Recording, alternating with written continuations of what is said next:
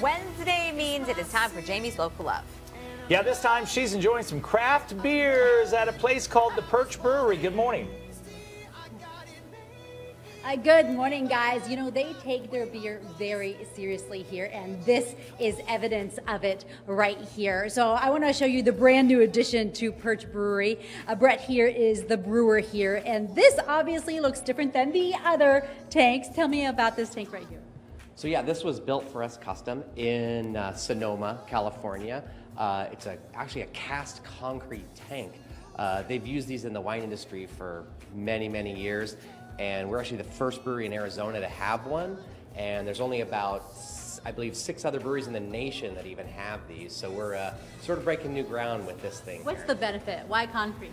Um, well, first of all, it's why not, Yeah. you know, but I mean, going back to just the traditions and, and the history of beer, you know, it was originally made in earthen pots and things like that, you know, the early, early concrete. So why not have a concrete Yeah. fermenter versus having stainless? It allows us to, you know, go into some new styles, some more ancient styles, and, and uh, just get some different flavors out of our beer that are um, a little more, uh, a little more eccentric, a little different than what everybody else is doing. And let's take a look at the flight that you have here because you are making quite a variety.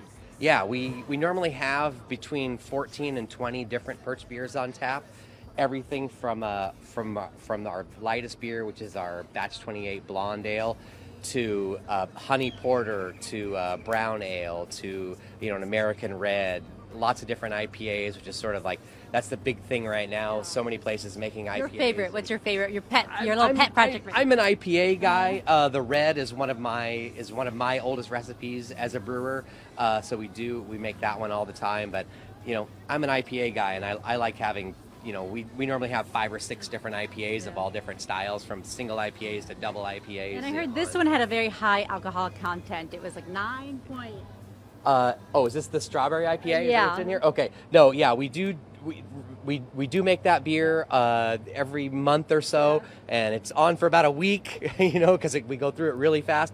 But the original batch we made was 9.6% goodness. because we made it for the Strong Beer Festival. But so you've got the beer, you've got the delicious burgers that you see huge, and then you've got the birds as well. And Rebecca here, the owner, she has just fallen in love. And I have learned that birds like to cuddle. So take a look at that gorgeous, gorgeous animal, and I'm going to send it back to you guys.